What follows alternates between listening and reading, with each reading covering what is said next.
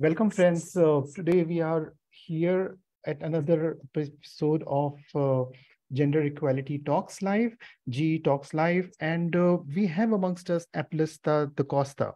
We just saw some of the media coverage. Uh, she is uh, an inspiring young person and uh, also a psychologist who has been dedicatedly working with the Human Touch Foundation. Those who have been involved with HIV TB responses in Goa, India, or are aware of, they will know the kind of very important work Human Touch Foundation has been doing over the years. And Applesta is here in Thailand at the Asia Pacific Youth Festival on uh, putting young keep your populations first to end AIDS by 2030. This is, I should not be the one who is talking. We are here. Applesta is right here. But before we listen to Applesta, let us remind friends that CNS has launched uh, the Gender Equality Talks Live uh, in recognition of uh, the core belief, the deepening belief that bodily autonomy and sexual rights are so integral if we are to, uh, you know, deliver on the promises of sustainable development or development and justice for all worldwide. So uh, uh, th this is part of that. And uh, welcome, Apple Apple Star. Thank you. Thank you so much for having me today. Thank you. Real pleasure and real honor that you are here representing our country um, at the Asia Pacific Youth Festival, putting young key populations, uh, you know, first to end AIDS by 2030. Very, very important indeed. Uh, so, Applesta, please let us know, uh, like, how is the Young Youth Forum going on? What are the key highlights? What will you like to share with us? Over to you.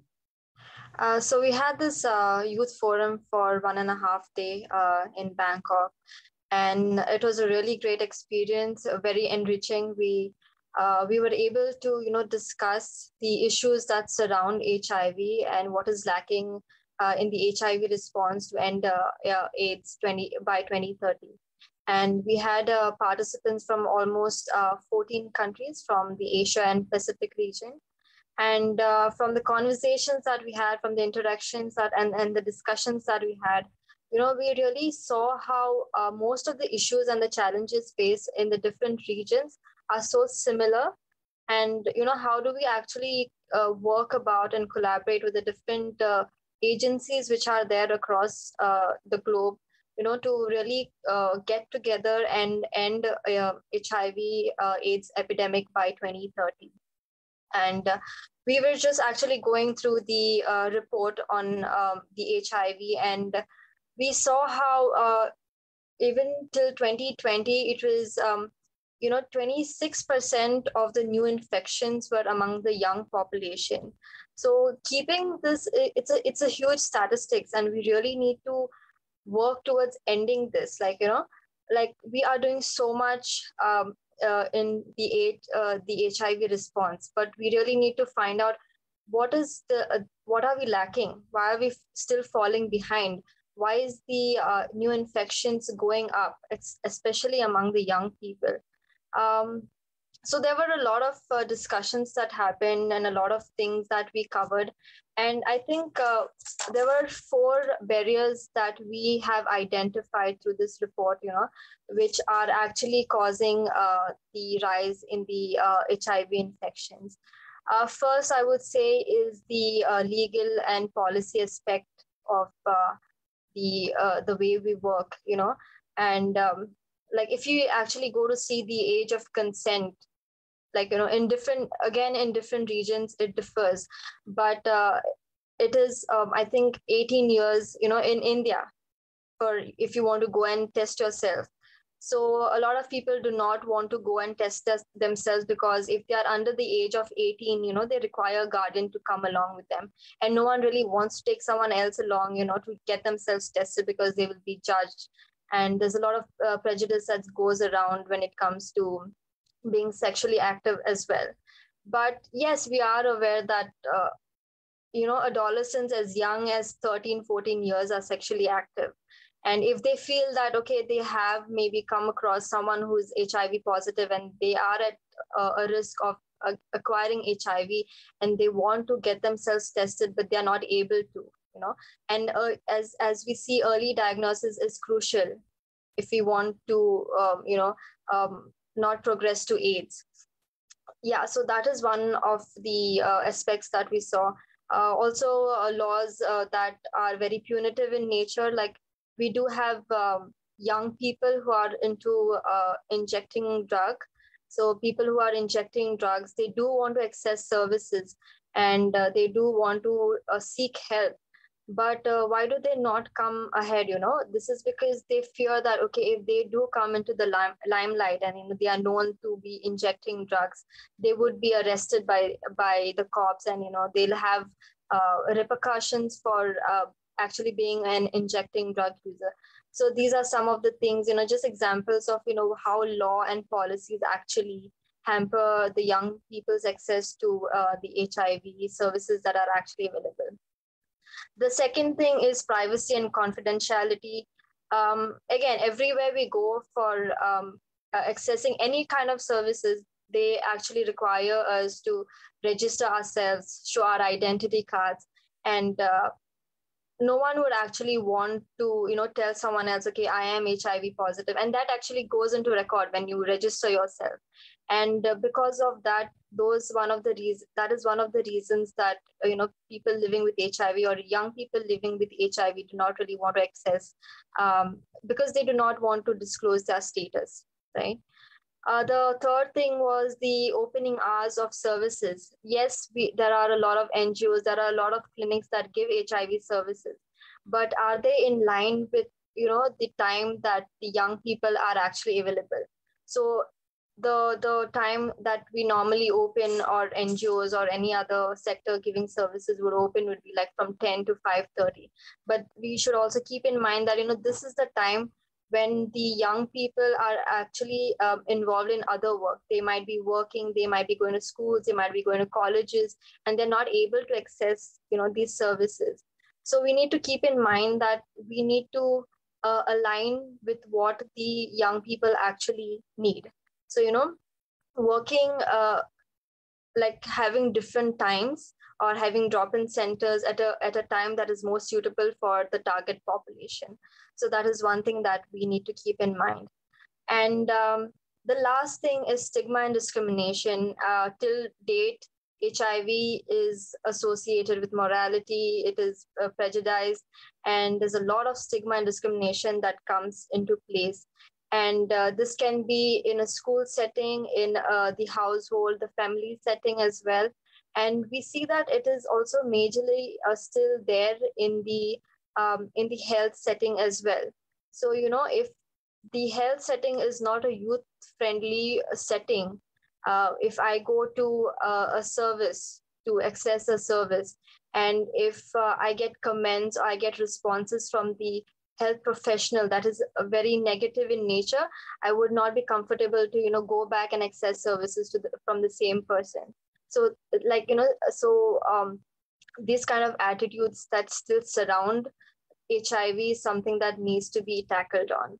So yeah these are the, the four issues that we spoke about and how do we actually um, you know work around uh, like uh, to make it better for the young key populations especially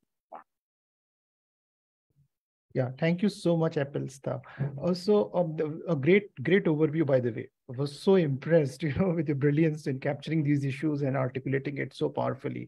And we totally echo Apple's too, totally. Like, you know, like it is so important for, you know, to, to, you know, we talk about 90, 90, 90, or, or let us say 100, 100, 100, 100. Like 100% of people should know their status, 100% of people should be virally suppressed yeah. or be on an ART and virally suppressed. And of course, 100% prevention, access to prevention services so that we have zero new infections in today's, yeah. in today's times. We have the tools, right? Applesta, we have the tools. We know how to prevent, we have range of tools, proven tools uh, to known to science to you know we know that uh, they can we can reduce the risk or prevent hiv infection. And uh, and of course like it's people for people living with hiv we have the tools to uh, ensure that they live full lives and undetectable becomes untransmittable. But there's so much more which we need, needs to be done if we are to progress towards end it's totally echo all what you have said. About this uh, so let, let me take you back to goa. And quickly if you can let us know um, like uh, how, uh, how or in Goa or in your work context, like uh, how the uh, how's the work going on with uh, how, what progress are we making on young young key populations in Goan context or the or the context which you are familiar with uh, in terms of prevention, in terms of testing, in terms of treatment, but also in terms of stigma. As a psychologist, I will request you to please dive deeper into and let us know like if um, self stigma or shame uh, continues to be a challenge or um, and what are the coping mechanisms for that? That would be very insightful. Over to you Applesta. yeah. Uh, so uh, answering your question uh, yes um, stigma and discrimination still surrounds hiv and uh, the fact that you know um, someone is living with hiv they are they have something called as self stigma where they feel that you know if they disclose their status um, they will be rejected and no one really wants to be rejected in the uh, in the society you know ev- everyone wants to be accepted. That is one of those uh, needs that each person has. And um, looking back you know disclosure of status is something that no one wants to do because of the fear that they will be rejected.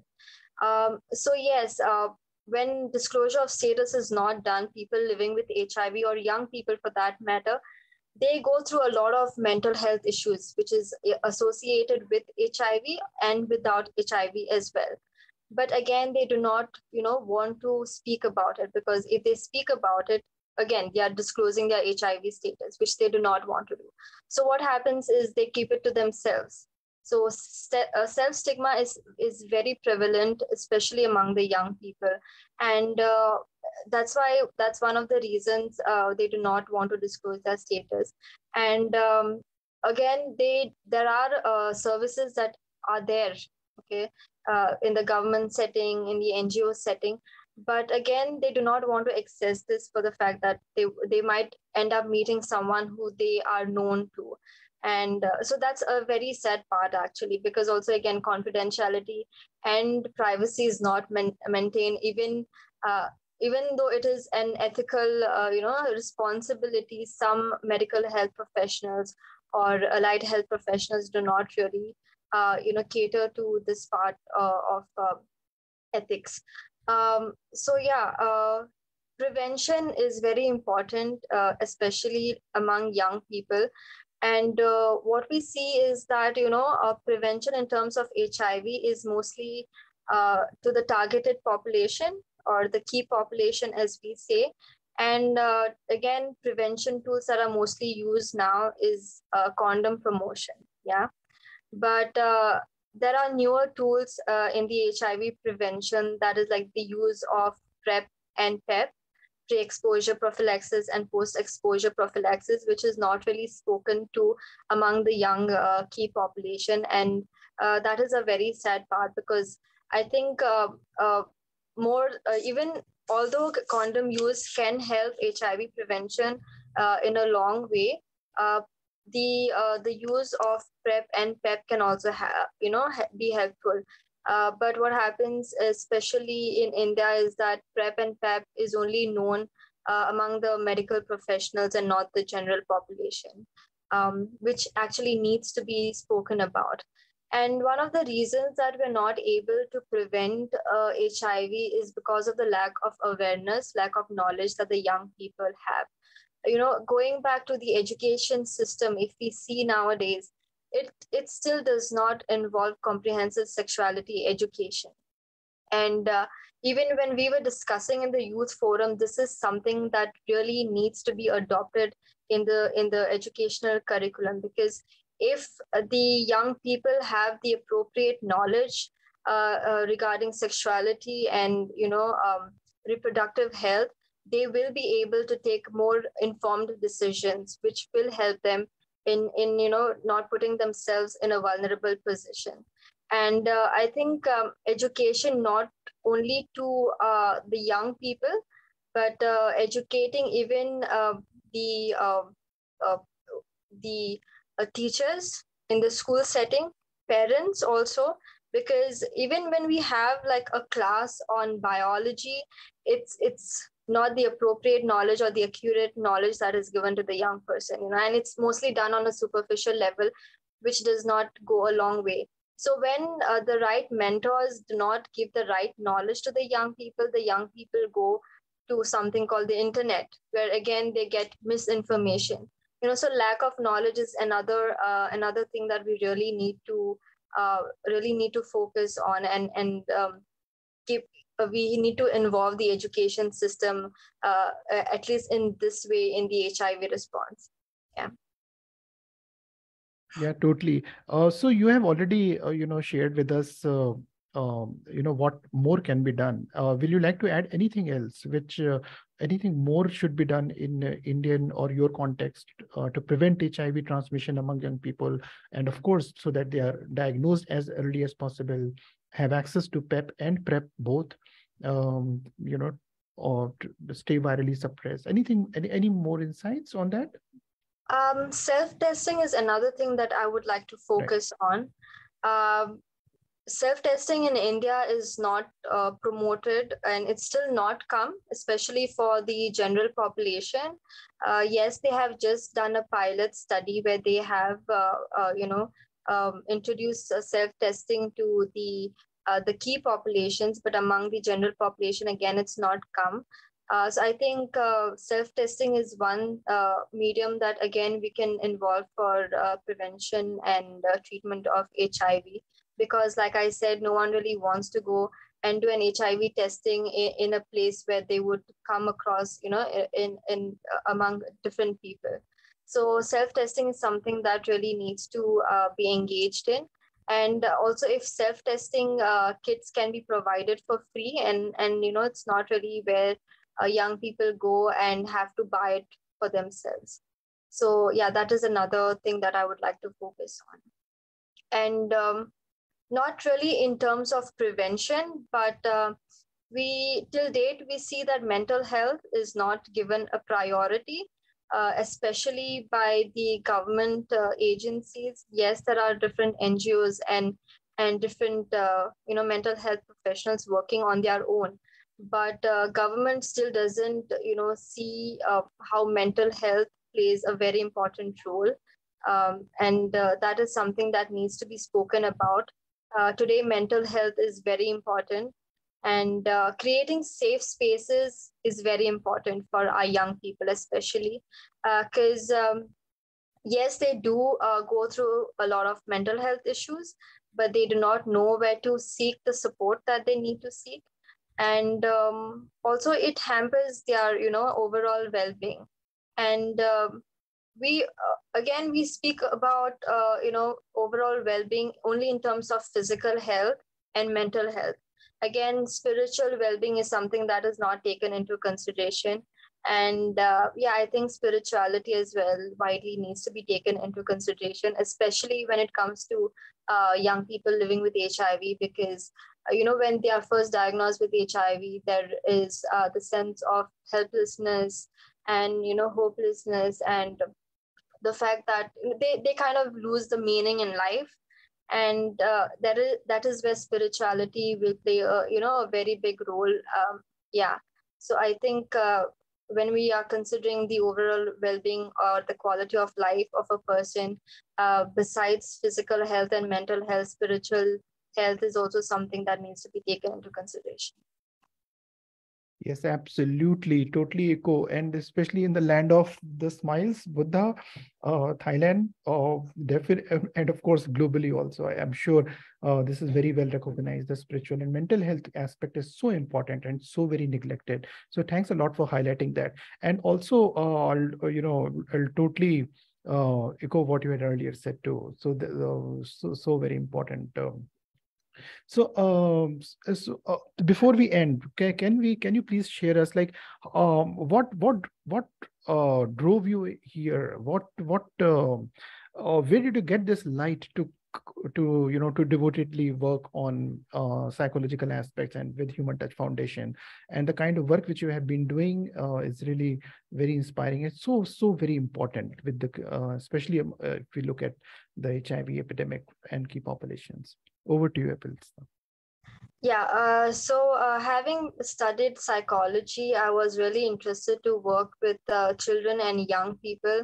And that's when I came in connect with Human Touch Foundation. And uh, uh, and knowing that they were working with young people, I was really interested. And um, yes, I took the opportunity because, um, you know, I was able to provide the safe spaces that uh, the young people actually look out for among this population. And they are the most vulnerable, the most, uh, you know, they require more help uh, in terms of uh, mental health services. So that's where I started my journey. And um, yeah, I think uh, I have been working with Human Touch Foundation and with young people living with HIV for over three years now. And uh, it gives me the sense of satisfaction that I can be a young advocate on behalf of them because they again do not want to disclose their status and bring out their needs and challenges on a platform. Uh, so yeah, it really gives me uh, uh, the satisfaction that I can do that on their behalf and really put forth their needs. What are the challenges that they actually face, and what are the solutions that they are looking out for? You know, uh, to help them to live a better life while living with HIV. So yeah. Absolutely. Uh, let us hope that uh, your voice is more heard and the governments and um, other policymakers take note of all the issues which we have raised, which are so, so very important. Um, uh, and also, I would like to echo uh, your um, uh, statements on HIV uh, self-testing. I think it is very, it's it's high time. You know, it's it's it's quite late already to roll out HIV self-test and make it accessible to all the people, whosoever wants to have it. And we need to leverage that. And there are studies and evidence also, Applesta, done in India also.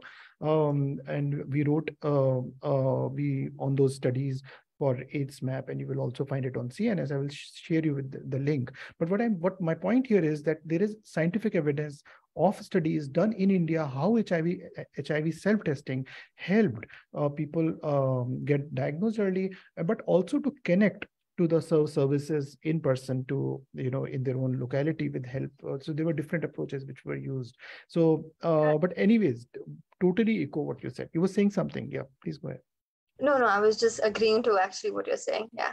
Right. Any any closing thoughts before we leave you to do what you need to do before you head back? Yeah.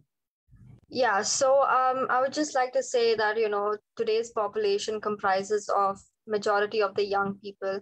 The young people are the future, and the young people have to be meaningfully engaged in whatever interventions that we develop, and they are the ones who need to implement, you know, the the interventions that we actually want to uh, engage in while uh, you know fighting the hiv aids epidemic.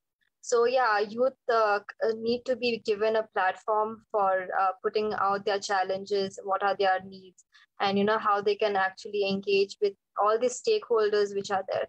Um, yes uh, we have you know stakeholders who have the experiences the resources but the young people can actually even you know um, like give their input. So we need to close the cross generation gap which is there uh, among young people and the stakeholders which are involved. And um, funding is something uh, that all these um, organizations youth led and youth focused organizations are looking out for. Yes we do have interventions. Yes we do have services that we want to reach out to you know the young people the young key population. But uh, I think every organization who is actually working on the grassroots level is really, um, you know, uh, they are struggling because of finances. And uh, we are not able to sustain the interventions that we engage in which are actually you know giving a good output. Uh, so i think uh, that is where you know donors and and the other stakeholders can actually collaborate uh, with the NGOs and you know uh, the other civil society organizations to take our services forward and reach out to a wider uh, wider network and a wider population. Yeah, yeah, absolutely, absolutely. So uh, thanks again. A very, very inspiring uh, Applesta. So I'll not uh, hold you any further. So friends, we were listening to Applesta da Costa from Human Touch Foundation, a very inspiring young person and uh, uh, and a psychologist who is uh, devotedly working with key populations, HIV key populations in in Goa in India. Um, so, and she is here at the Asia Pacific Youth Forum on putting young key populations first to end AIDS by 2030. So uh, all the links to the studies we refer to, to Human Touch Foundation, uh, in the social media accounts and stuff, you will find it in the description. Those of you who are listening on podcast, please click on the description or visit CNS. So thanks a lot, Applesta, again, and all the power to you. And let us hope that not only uh, you know uh, governments listen to you, but also uh, it's not only about closing the generation intergeneration uh, the gap, but also it is about building intergenerational alliances. People need for different age groups, especially the older ones, need to get out of the way when it comes to you know responding to the uh, to the young people. They know they are wiser, they know the issue, uh, they are the best people to find solutions that work for them. So uh, so with with this hope that uh, in our lifetimes we'll be able to see zero new infections and uh, first in the young people and of course in every age group. And all the people should get um, access to all the broad spectrum of HIV services, whether it is prevention or it is diagnosis, it's treatment, viral load. Everyone, each human being has a right to live a normal, human, healthy, fulfilling life. And as Applesta had rightly said, uh, also that you know self stigma and shame and stigma and all its uh, different diversity needs to be uh, stamped, uh, stamped out. Any anything what you wanted to say, Applesta, before we end? No, just All thank right. you for having me. It was a really great honor. Very mutual. Thank you. All the best and all the best wishes to you, and Peter Borges and Human Touch Foundation family. All the best. Safe travels. Bye bye. Thank you so much.